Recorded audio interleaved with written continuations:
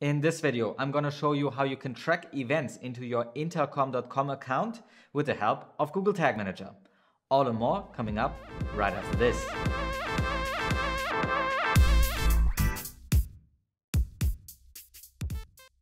Alright, back in our intercom account, we have already set up in Google Tag Manager the base tracking code for intercom so we'll be able to identify users once they log into their account. And we have their data available in intercom now. What we want to do in this tutorial is fill the activity column here with event tracking. How would we do that? Let's go over to the setup guide here and enter the custom event.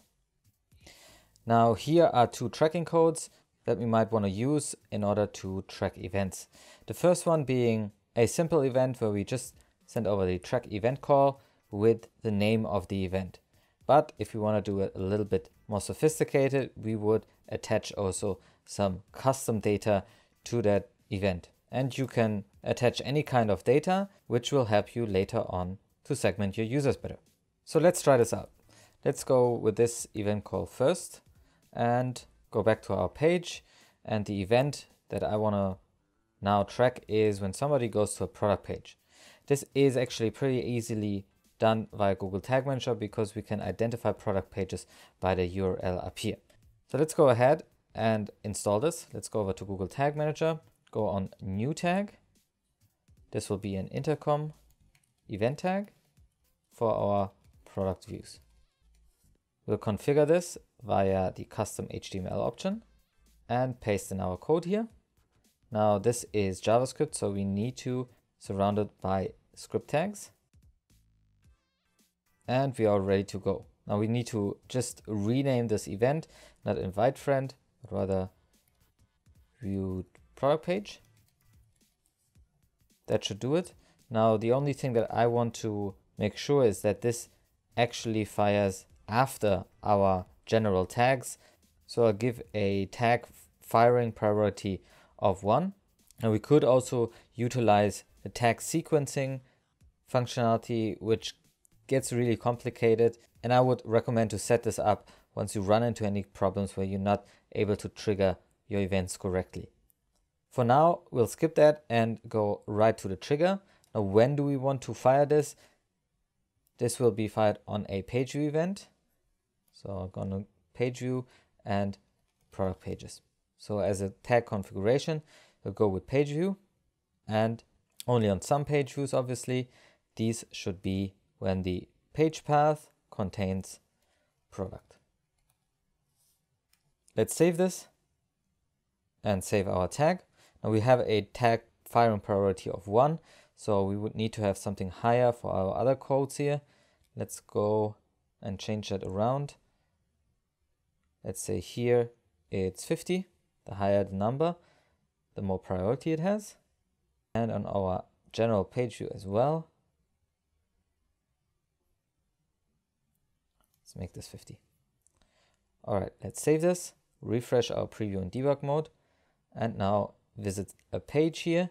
I'm currently logged in, so I'm going to reload this page. And we see our intercom event product views has fired.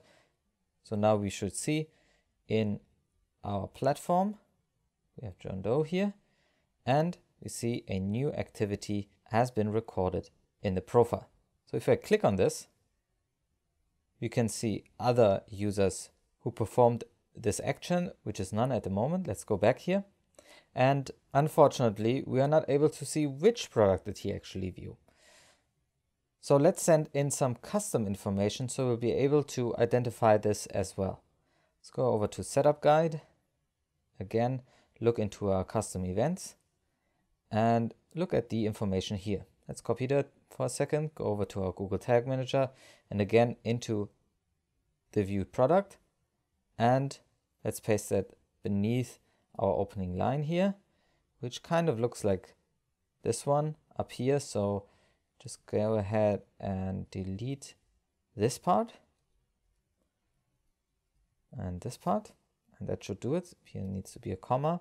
So we send over an event call with the name of this event and then some custom information. And this custom information is put into key value pairs. Now we can customize this to our heart's content. So for example, if we wanted to not have the order date, but rather would have the page path, we can then put that in as an attribute and get it filled with our variables. Let's try this out. Let's get rid of the other information here. Save this. Refresh. We get a compiler error. Let's see what's that all about. And apparently there's one curly bracket too much. Let's try this now. Save this again. Refresh. Now it goes through. Let's go over to our demo shop and go back to the home page. Go to another product here. And we again have our event call. This time go back to our profile here. And we see another event and we have these little dots here. We can click and expand it and we see our custom attribute that we sent over. Now, if you have the information available, you could also send over the price, the title of the product, how much was entered in this box here, anything that lets you segment your customers later on. Now, obviously, this is not a very sophisticated event that we are sending over, a very standard interaction when a page loads, but the power of Google Tag Manager is really when we are able to track interactions, such as the add to cart click. So how would we do that with Google Tag Manager? We have certain triggers available. Let's go through these steps. First of all, we would need to deploy a generic click trigger. And as a trigger type, we'll choose all elements as the click element here and save this. Refresh our preview and debug mode. Go back to our page, refresh that as well. And this time I'm going to click on the add to cart button with the command key pressed this will open up my click in a new tab. We'll go back to the other tab in order to see how variables got filled in our preview and debug console. So here we see a GTM click. Once I clicked on this object, nothing fires just yet, but we can look into the variables. Now the variables don't have our click variables in there just yet, so we need to go back and do this experiment again. Let's go into the variables first and go to the built-in configure variables here and activate our click variables. That's something you only need to do one time.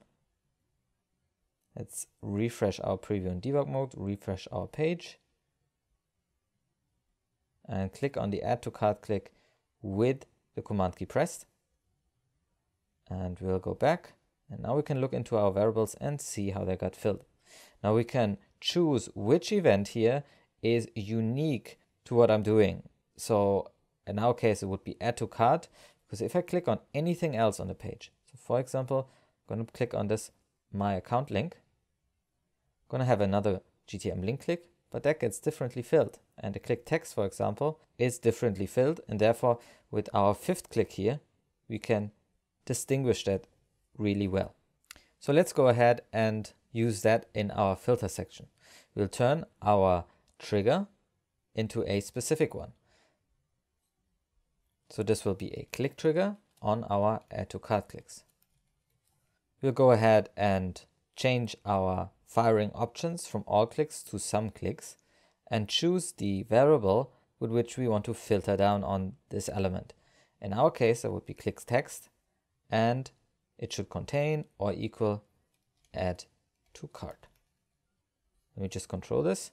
See again if that is what we have. Add to cart, it actually needs to be small letter. So let's do that and save it. Now what we need to do now is to attach our trigger to an actual tag. Now we want to fire an event, so I'm just gonna go onto our product view event and actually copy that. All right, and rename that a bit. And this will be an add to cart event. We can send over the page path as well. All right, let's go ahead and define our trigger here. Obviously, we don't want to fire this on a product view, but rather our add to cart click. So this is something we defined. Let's save this, refresh, refresh our page. And we see already our product view event. But when I click on this add to cart button, you see down here that our event click also fired into this user. Now, once we go back to our intercom platform and reload the page, we see several add to cart clicks. That's something I've tried out beforehand, our product page view. But again, this is information that only gets sent over once somebody actually clicks on the add to cart button and it transfers over the page path. So this is how you can fill up your activity reports with useful events that you might use to segment your users later, send them a message once they have performed a certain action, and track that all in the Intercom platform. Obviously, you can customize this to your heart's content.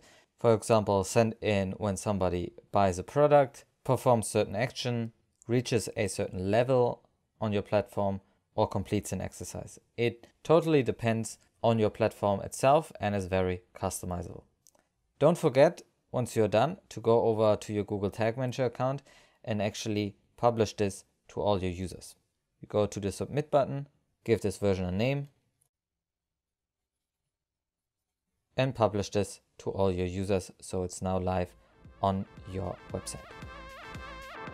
So there you have it. This is how you can install events with the help of Google Tag Manager into your Intercom account. Now, if you haven't installed Intercom with Google Tag Manager yet, then head over to our first video, which we've done on this series. And if you like this video, then consider subscribing over there because we'll bring you new videos every Wednesday.